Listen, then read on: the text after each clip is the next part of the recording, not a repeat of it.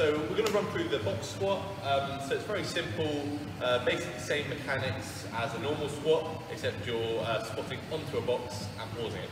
So if Lauren um, brings up, so we want you about half a foot away from the bench, so about 20 centimeters.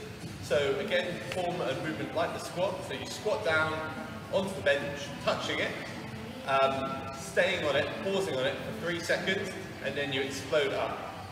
Another variation of box squat uh, is to sit back on it more, as Lauren will now demonstrate. So you come back, and then you rock forward, and then you squat up again. So the purpose of this is to uh, stop the body being able to use the stretch shorten cycle, uh, which basically aids you to lift up uh, from the bottom of the squat.